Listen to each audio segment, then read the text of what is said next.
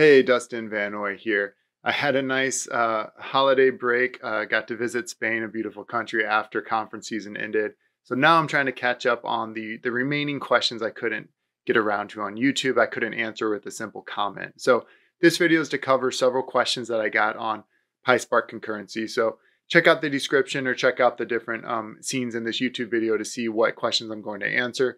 Let's get right into it. I'm going to do short demos, short descriptions of how you would do these things that uh, people were asking about after I released my video about how you do PySpark concurrency from Databricks notebooks or from Azure Synapse notebooks. Here we go. Okay, so the first question I had was about how do we pass multiple parameters into the function we're going to call. So in my previous video, I had a function called load table, and that's what did most of the work. That's what we want to run uh, concurrently. We want to run multiple instances of that function with different values in order to, um, in, in a normal scenario when I'm working on Spark, kick off multiple Spark workloads basically that are going to uh, send commands to the executors and get the work done on the cluster spread out across multiple workers. Okay. So in this case, I'm doing a super simple thing that does not involve Spark at all and just printing. So I can demonstrate how you do this with Python concurrency, which is really the key to the question. So I have a function, instead of just taking one uh, parameter in, it's going to accept three. Okay. A, B, and C. And then I'm going to build up my list of tuples. So I had a little bit slightly fancy way of building up my table list before. In this example, we're just hard coding the thing. Each item in this Python list is a tuple. The tuple has three elements to correspond to the three arguments that are expected when I call test. So A1, B1, C1 will be my first instance, and then the twos, and then the threes. Each of those was different, and that's I wanted to show that the values will be different. Uh, if the value is the same for every one, uh, it's actually fairly straightforward. We can add that right after this. So I've loaded up these table lists, and then the main thing I've changed here from previous videos about threading and using queues in Python is um, when we call this really core piece of run task, I still pass in a function name. So I've changed that to be the name test. So it reads that function that I set up earlier.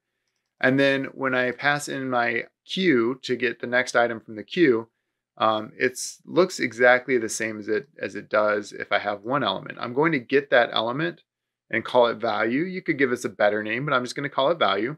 But that's not a single element. It's actually a tuple. It's actually, for the first time I, I kick this off, it's going to be that. That's my value. So when I call function right here, I need to do asterisk value, which is using the args uh, capability within uh, within Python to unpack that into three different items. If I put four things in that tuple, it's going to unpack four things and try to pass those. And I, I expect I'll get an error there if I recall correctly. Um, but I have three three items in my value, three things to pass in. This star will unpack it and when I run this thing, we should see that it will print out exactly what I uh, am anticipating. It runs three different times. It actually ran concurrently, and it will um, print different things for each run. Okay, so now let's look at the uh, thing I mentioned of what if I've got what if I've got a static element? How would I handle that? And I think I can just do this to get that back. Okay. Uh, so now I've changed my function to accept this job name as the first thing. Okay. So in my table list, what I really need to do is not change a thing because job is always the same. I want to use the same job name in this case. That's really what I'm trying to demonstrate. When I come down to call my function in run task, I can I can modify run task to say um, use the uh, job name hard coded to uh, what are we doing here? Let's say concurrency, right? Something like that uh, and then do the unpacking after that. So I'm going to pass in four values, the three that get unpacked from the tuple and one hard-coded value that's going to be the same for every time I, I, I call an item from the queue and, and process a table, and, and, is typically the case. I think I got everything checked there. Let's uh, run this guy, see what happens. There we go. So now job is consistent. It doesn't really need to change, so I don't need to add it to the queue each time, uh, and, and everything runs and works the way I expect. Okay, one more one more bonus item here. Uh, we can leave job. I think that'll be just fine. Let's uh, but what I need to do is add in, I think I've got it saved. Yes, I'm going to use a dictionary instead of the tuples. And this is really if you've got uh, a lot of things that are different each time, you can basically build up your dictionary with each item, have it named. So the idea is instead of having having to know that uh, A1 is is my item for A, B1 is my item for B. I could switch up the order as long as I have them named with A, B, and C. And of course, if I wanted to pass in job, I would have something called job, and I'd put that in this this. And so really the uh, the curly braces here is what dictates that this is a, a list of dictionaries instead of a list of tuples. So here's what really happens then. So let's let's make sure I run that. I'm not sure if I have yet. I come down and I'm going to uh, change right here where I was doing a star value to take advantage of args is I can do this keyword args thing in Python by doing star star. What it's going to do is it's basically going to treat these as named parameter, named parameters, and it's going to say for each item in my dictionary, um, basically translate uh, a colon a4 to a equals a4. And so it's the equivalent equivalent of if I had a equals a4 in the function call, b equals b4, etc. That's not what I want. What I really want is star star uh, value. And so let's go ahead and try it that way and see what we get. Kicking it off, let's scroll to the bottom here. I must have missed something. Let's check this error message real quick and I'll explain what I did wrong. Okay, so you can't do that with a list of tuples. If you're going to do star star, you need to actually change the list that you're looping through to be one that has dictionaries, right? So table list two is what I called it. Now I've got it mapped correctly. Silly mistake. That always happens once I hit record, so we're just going to roll with it today. Beautiful. So I've got um, these named value pairs have been unpacked and used uh, correctly. Uh, and that's basically how we would use multiple arguments, two different options, either using tuples or dictionaries. Um, probably some other ways to do it. Certainly other ways to use tuples. I could have my my function expect a tuple or expect a dictionary and then just deal with it that way. Um, quite a quite a few options you could work with here.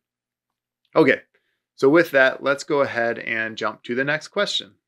Okay, so another question I received was Can we run this via a notebook? And maybe it was more of a suggestion of other ways people have done it.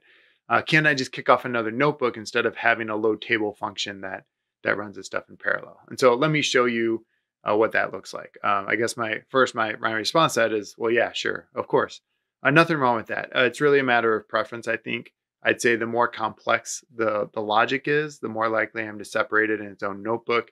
Or, or of course, if I need to reuse that logic across multiple places, having it in its own notebook is a pretty easy way to call it uh, from a variety of kind of wrapper jobs like like what we'll be doing here.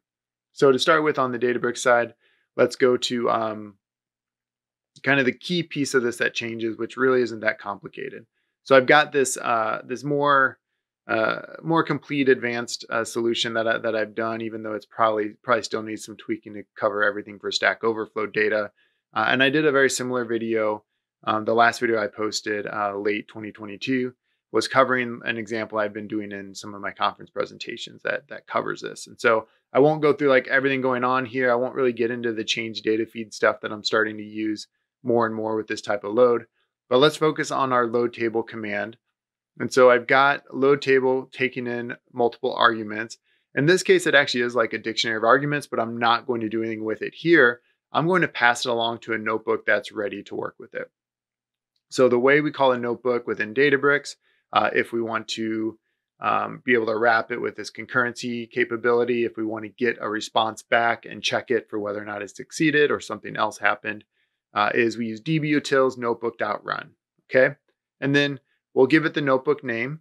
You can play around if it's not in the same directory, play around with um, how you would reference things in a different directory. Uh, but the, typically, I try to keep the notebook I'm running and the wrapper job in the same uh, folder if I can. You give it some sort of timeout. I've made mine super long and then you can uh, pass along arguments that will be be sent to that notebook. Uh, maybe I'll show you real quick what that looks like in case uh, that's something new to you. Uh, and so when we do this, uh, basically what I do is I get the status back. I'm expecting it to get a string back. I'll check that and raise my own error message if it doesn't work. That does get us into what happens if we're running this and some of them work, but others don't. How do we do error handling? We're about to get to there because that's a separate question I want to address. Um, so as we're going, just a quick glimpse that our run task function is pretty much how I, I, typically do it with a little bit of error handling things added that I'll talk about. I went ahead and built up my table list a little bit more explicitly in this example because I wanted to actually change column names, pick which columns I use. I don't want a full copy of the table as a, in a simple way like I have in the past. And then um, the rest of this is pretty much the same with the error handling baked in. Uh, so that's uh, that's from my previous run. I'll go and kick it off, even though it's uh, not super important whether or not this particular instance completes because we've highlighted the important piece here. We'll go and run that just in case it's helpful in a moment. Now, uh, let me show you how we accept those parameters in Databricks first, and then I'll show you uh, the same thing in Azure Synapse Notebooks because it's similar but slightly different logic. Might as well just cover that too. So here I have the, the notebook I was calling, if you, if you remember, it was called Stack Overflow Refine Table Load. And so as I'm going, I can actually set up parameters in the notebook by using this dbutils widgets uh, syntax. And so you can actually see the widgets that I've set up are here, and I can populate those by typing text in.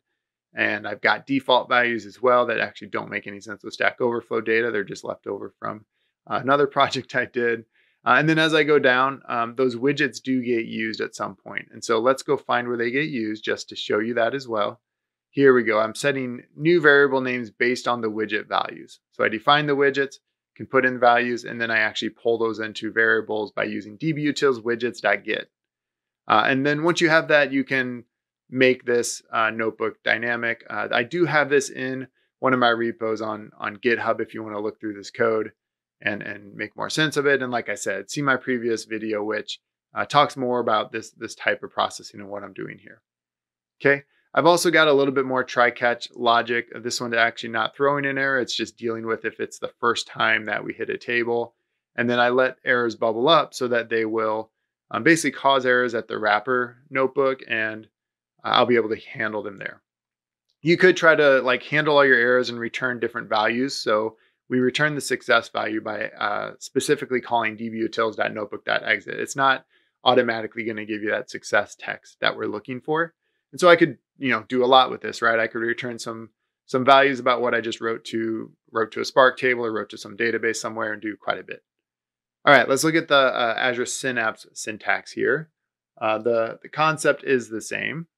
Uh, notice that with both of these, you've got percent run type of statement to kick off a notebook and run it. But when we're doing concurrency here, we actually need to use the utility feature. So coming down to load table in the Synapse notebook that does this, instead of dbutils, I have MS Spark utils.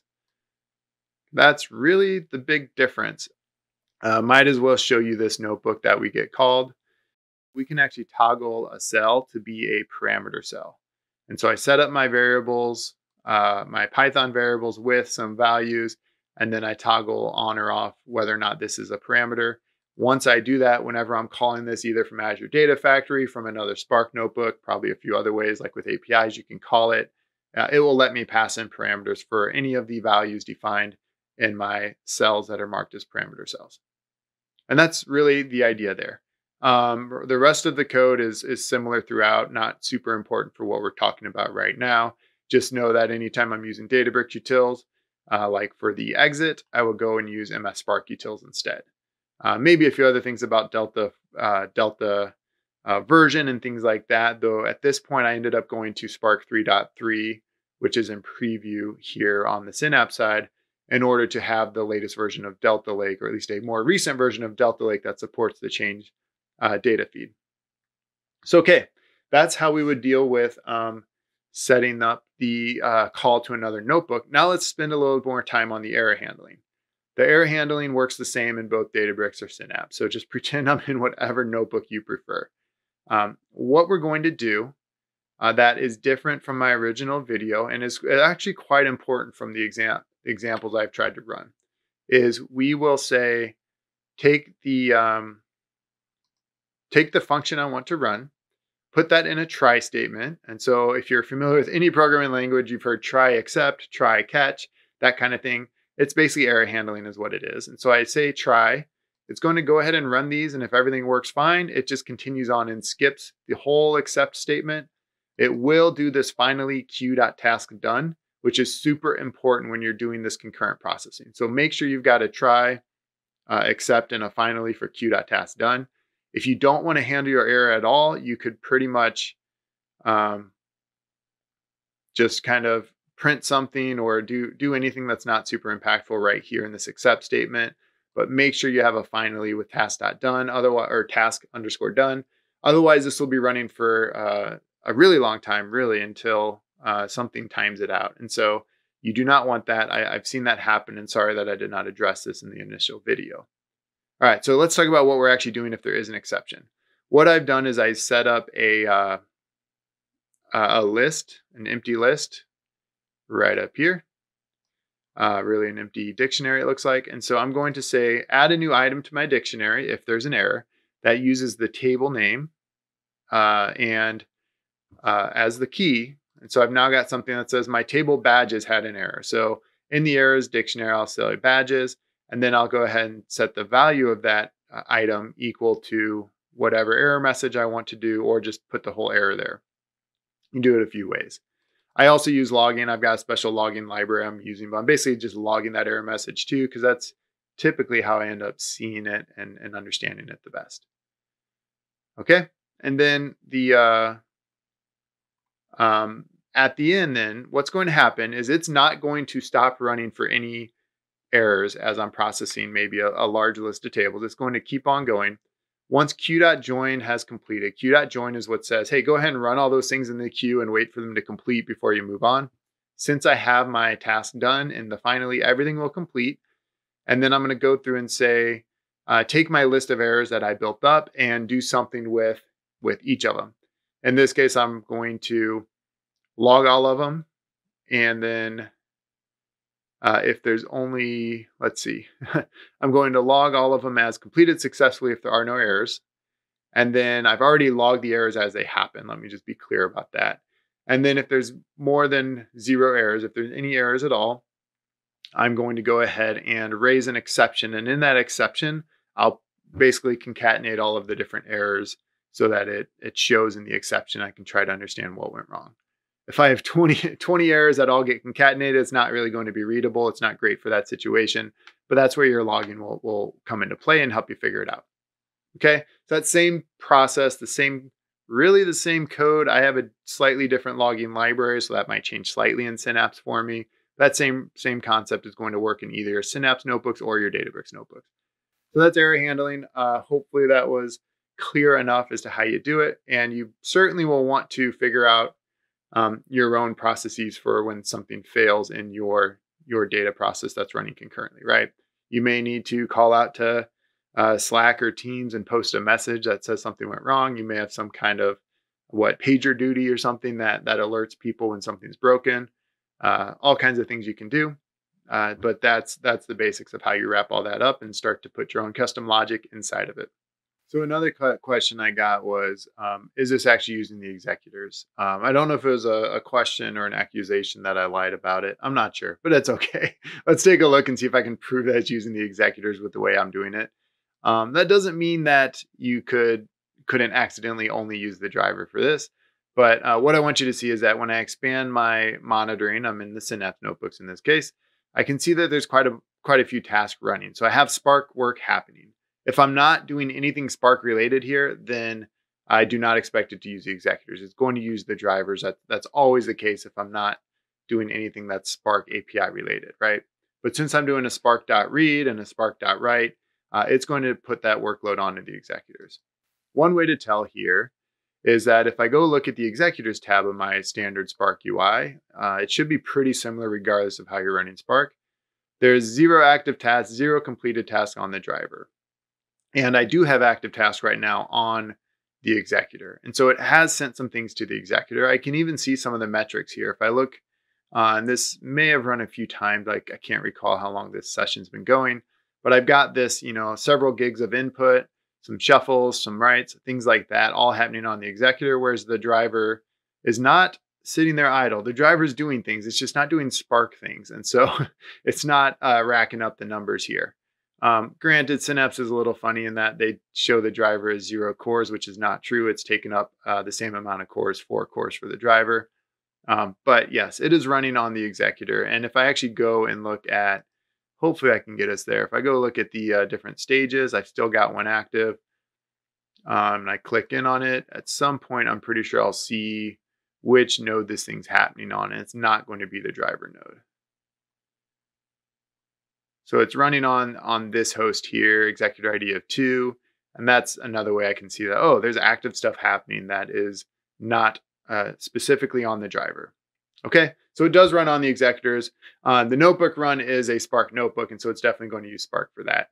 Um, in the other example I had, though, I was doing spark.read, spark.writes, and it's also using the executors. You can check it the same way on your on your end if you like to. All right. So that covers that. Let's move on to the last question I'll address today. Okay, so the question came in on how do you do this with Scala? And I might have posted this link already, but let me just give a quick chat about uh, what this is. You can follow along uh, if you're brand new to Scala, especially. So there's this post by Databricks that uh, has uh, an example notebook. So this is the way to get started. I haven't really modified it much on my end. I haven't done a lot with with this particular um, type of scenario with Scala. So um, basically, if you go to uh, databricks.com, notebooks, notebook workflows, uh, you'll find this. Uh, if you search for uh, how to run notebooks, it's really at the bottom of that. So um, just just so you know where we're coming from, run a Databricks notebook from another notebook is is the link. And I scroll through all of this, which explains more about what I just did, some different ways of doing it and, and handling errors. And then we get to this piece that's actually answering how do we do this concurrently. So you download the notebook archive. I've just done that here. And now we want to go import it into our own Databricks environment to explore it more. So you'll go to your workspace wherever you really want to be on the workspace and choose import. And with any luck, we can um, pull in that whole thing. Um, let's look at concurrency notebooks first. So I'm going to start a ways down where they show the kind of manual way to do it, just so we can talk about what's going on. Um, so with Scala, you've got this idea when you want to do asynchronous, so non-blocking code. We can run one thing and let it do its do its process in one thread while we start up another thing, right? That's kind of what we're doing uh, throughout this, these examples. Uh, we can use a, you need an execution context, and this is a way to um, get that, it looks like. And then we can say, take a, um, set up a future. And a future in Scala is essentially this is something that may not exist right away, but will exist at some point once it runs what's inside of it. And so you're going to um, set up this future, say what you want to happen to that once it's completed, once we've got the processing that's happening asynchronous, asynchronously done, what happens next. And so we're going to give it a context and we're going to um, we're going to kick off the, the testing notebook here. And since it's inside of a future, we can then do more things with that while we wait for it to actually give us back that, that result. So the result's going to be what's passed back by the notebook we run. Uh, we can also define another future then at the same time while this is still processing.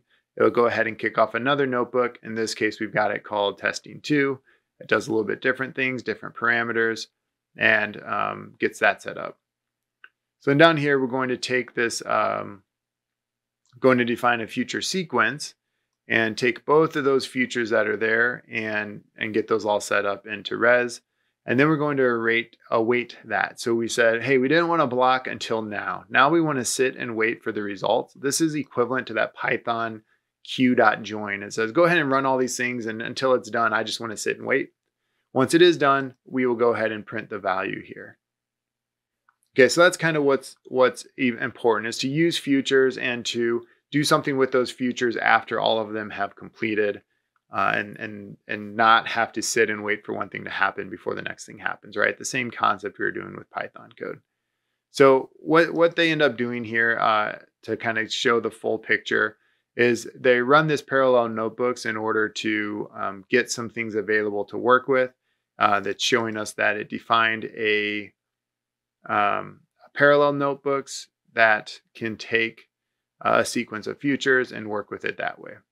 So um, when we look into this, we're going to build up basically a set of configurations, right, for each notebook. So we're going to run a testing notebook with this setup. Testing two with this setup, testing two again with a different set of parameters here, which is what that map is. Um, so these are all getting kind of set into a list here. A sequence is the correct term within Scala, but it's basically a list, right? Same concept.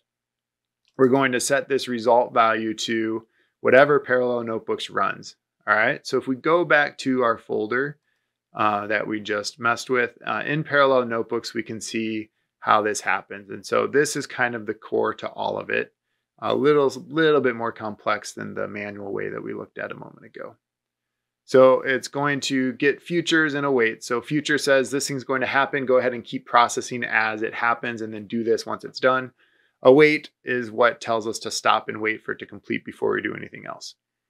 So well, we set up that that configuration was a class called notebook data, but we already kind of saw how that gets used. And then we have a function called parallel notebooks that takes a list of notebook data and it's going to return back a future uh, list of results.